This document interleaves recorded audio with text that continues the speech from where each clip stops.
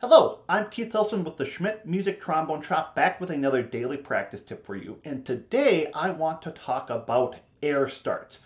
What are air starts? Well, one of the things I love about being a brass player is that we tend to make things simple. We tend to describe things the way they are. So for example, lip slurs. A lip slur is a slur that we play with our lips air starts.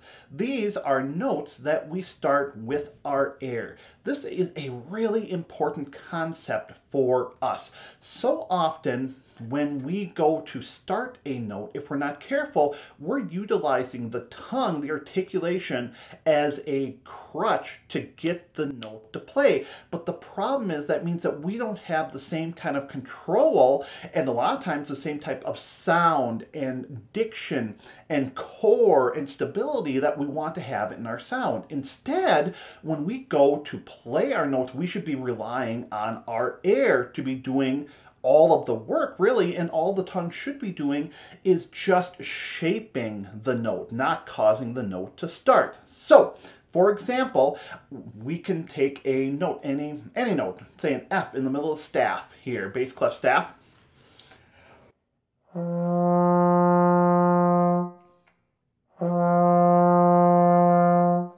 And I'm just using my air oh, to get the note start, just as if I were singing it. Same exact concept.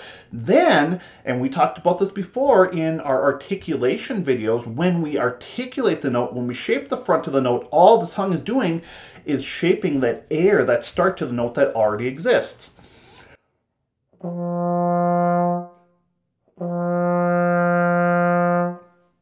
we want to control that shape, but the air is what is starting it. So how do we work on these air starts? Well, just like so much of else that we work on, great place to start is with the mouthpiece. So when we are thinking about this, what we want to think about is making sure that we're supporting the air right from the beginning with our whole upper body, and especially making sure that the, uh, the diaphragm is playing a role in giving the correct amount of air pressure.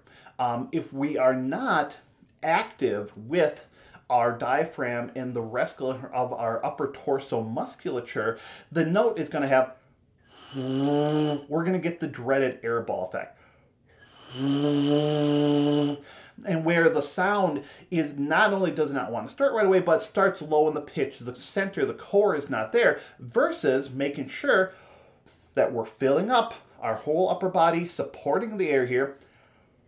And so that way, as soon as the note starts, it's right on pitch, it's centered, it's full, and it wants to start quicker for us. So we can take something as simple as a scale.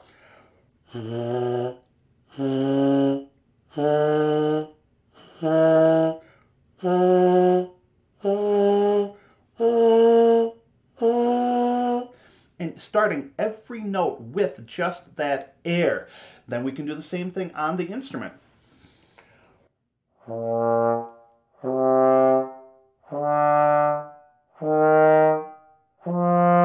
and so on and so forth. I use air starts a lot in the morning when I'm playing my long tones to make sure that from the very beginning of my day, I'm focused on the air, working with the aperture to create the sound and then adding on from there. So we can do things like our scales. We can do repeated notes. And you'll notice, so not only am I starting the sound with my air, I'm also ending it with the air. Ho, ho, ho. And it should feel really active like I mentioned. Ho, ho, ho, ho, ho, ho. If you watch, when I'm doing that, my whole upper torso and the diaphragm here is very active. Ho, ho, ho, ho, ho, ho.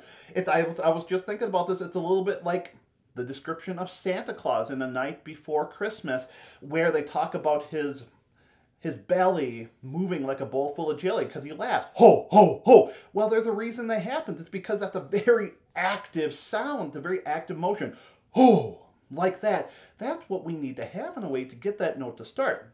Now, we don't always want to be really strong and ho, pushing like that, but we have to have some of that motion. And most importantly, that compression and that activity with this, oh, to make sure that we're supporting the air. And really, sometimes we can overthink some of this. What's the end goal? Taking that air and turning it into sound and trying to make the most beautiful sound we can right from the very beginning. That's the end result of this. This is one way we can work on that. So this week, I encourage you to think about adding some of this air start practice to your routine. Again, it can be during your long tones. It can be during your lip slurs, starting your lip slurs